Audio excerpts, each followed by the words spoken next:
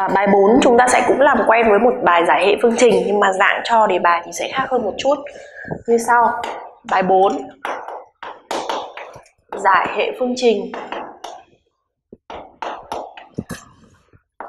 X cộng 1 nhân với y trừ 1 bằng xy trừ 1 x trừ 3 nhân với y trừ 3 bằng xy trừ 3 với bài này thì chúng ta lại suy nghĩ thế không được cộng không được. À, vì rất là khó để rút xy rồi à, tất nhiên là không được thì không cũng không đúng mà là không được ngay. Nếu đặt ẩn phụ thì nếu đặt x cộng 1 thì lại còn x trừ 3 đặt y trừ 1 lại còn y trừ 3 vậy thì cách tốt nhất đó là chúng ta sẽ biến đổi biến đổi bằng cách nhân phá ngoặc và sau đó thì uh, sau khi mà chúng ta nhân phá ngoặc và giãn ước thì chúng ta sẽ xem thêm chúng ta sẽ sử dụng biện pháp gì. Tương đương với nhân phá ngoặc các con thực hiện x nhân y là x y. X nhân trừ 1 được trừ x. 1 nhân y cộng y. 1 nhân trừ 1 được trừ 1 chuyển vế sang ta sẽ có trừ x y. Trừ 1 chuyển vế thành cộng 1 cộng 1 bằng 0 bên dưới nhân phá ngoặc x y trừ 3x trừ 3y trừ 3 nhân trừ 3 cộng 9 trừ xy cộng 3 bằng 0 tương đương với à, bây giờ thì chúng ta sẽ tiến hành triệt tiêu. Xy trừ xy là hết rồi như vậy đề bài này chỉ còn trừ x cộng y thôi.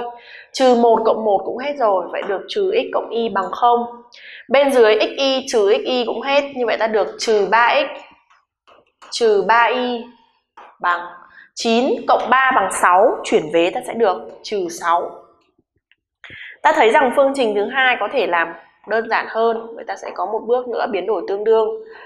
Trừ x cộng y bằng 0 chia cả hai vế của phương trình thứ hai cho trừ 3 ta sẽ được x cộng với y bằng dương 2 và đến bây giờ thì cô sẽ sử dụng phương pháp à, cộng đại số luôn. Cô cộng về với vế trừ x cộng trừ x là hết. Y cộng y ta sẽ được 2y thì bằng 0 cộng 2 bằng 2 giữ nguyên một phương trình ban đầu, x cộng y bằng 2 y 2y bằng 2 như vậy y sẽ bằng 1 y bằng 1 thế xuống phương trình bên dưới ta cũng được x bằng 1 kết luận. Tự các con kết luận. Vậy cái gì viết ra? À, thế đây cũng là một bài mà đã thi rồi nhưng mà nó cũng không cần cầu kỳ đến việc là chúng ta phải đặt ấn phụ hay làm gì cả. Nhưng cũng không sử dụng được thế ngay hay cộng ngay mà chúng ta sẽ phải biến đổi tương đương để triệt tiêu hết à, sau 4 bài giải hệ phương trình bằng phương pháp rất là cơ bản như thế như cộng hay là bằng phương pháp là lần phụ thì chúng ta sẽ chuyển sang những bài có chứa tham số. Và những bài có chứa tham số thì thường là người ta sẽ hỏi đến những bài liên quan đến điều kiện để có nghiệm duy nhất vân vân hay là nghiệm duy nhất thỏa mãn một yếu tố nào đó. Chúng ta sẽ có đề bài bài 5 như sau. À, cho hệ phương trình và yêu cầu tìm điều kiện. Nhưng mà thông thường khi mà cho dạng này thì người ta sẽ cho câu thứ nhất là giải hệ phương trình. Rồi đến câu thứ hai thì mới là tìm điều kiện để hệ có mấy nghiệm hoặc là nghiệm thỏa mãn cái gì đó.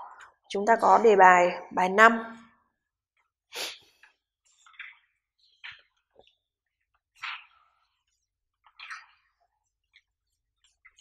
cho hệ phương trình. Bài 5 cho hệ phương trình. Ờ, Ở mx cộng với 9y bằng 10 x cộng với mi bằng 2 đây là hệ sao. A nhỏ giải hệ phương trình khi m bằng 1 b nhỏ tìm m để hệ phương trình có nghiệm duy nhất.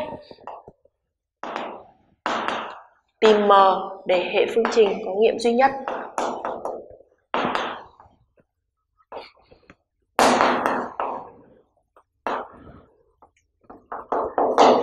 Với câu A, cô nghĩ là đã rất dễ với chúng ta rồi.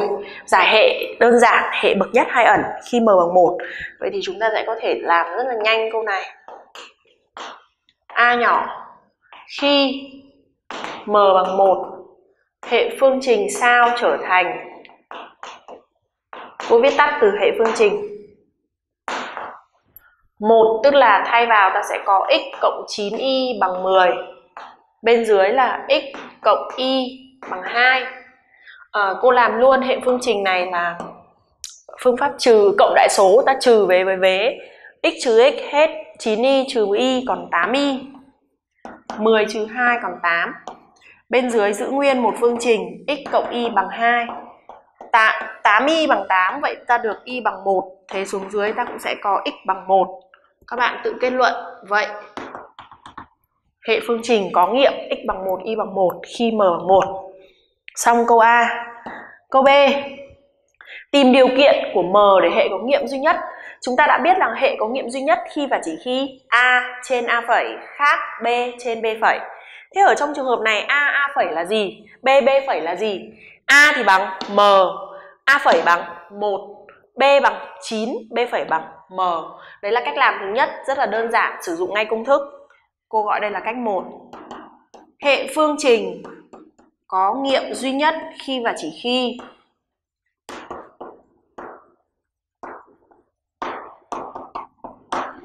A trên a phẩy, m trên 1 khác b trên b phẩy 9 trên m. Nhân chéo lên, ta sẽ có m bình khác 9 m bình khác 9 có nghĩa là m khác cộng trừ 3 kết luận, vậy m khác cộng trừ 3 thì hệ phương trình có nghiệm duy nhất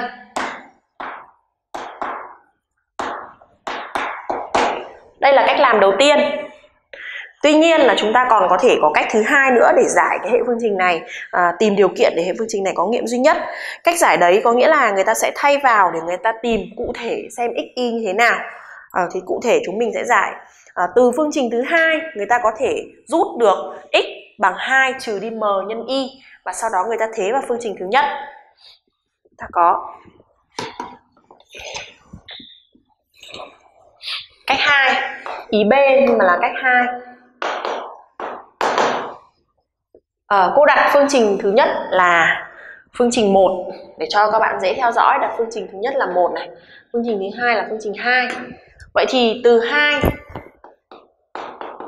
thì suy ra được x sẽ bằng 2 trừ đi mi thay vào 1 thay vào phương trình 1 ta có. Chỗ nào có x các con đi thay bằng 2 trừ mi? Như vậy ta có m nhân với 2 trừ mi cộng với 9y sẽ bằng 10.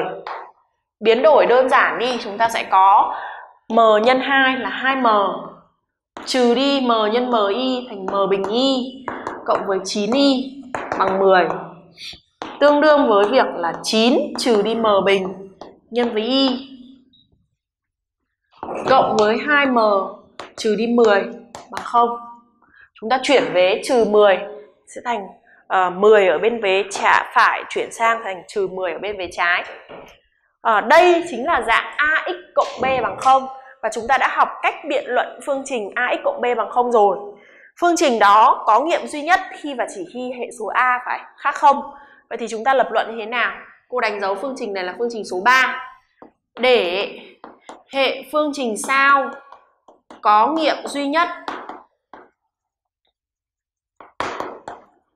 để hệ phương trình sao có nghiệm duy nhất thì phương trình 3 cũng phải có nghiệm duy nhất. Có nghiệm duy nhất. Và phương trình 3 có nghiệm duy nhất thì hệ số A của nó phải khác 0, có nghĩa là khi và chỉ khi 9 trừ đi m bình phải khác 0. Tương đương với m bình cũng phải khác 9 và m bình khác 9 tương đương với m khác cộng trừ 3. Như vậy là làm theo cách 1 hay cách 2 thì chúng ta cũng vẫn được cái kết quả là giống hệt nhau. Và đến đây các con kết luận. Vậy, M như thế nào đấy thì hệ phương trình có nghiệm duy nhất.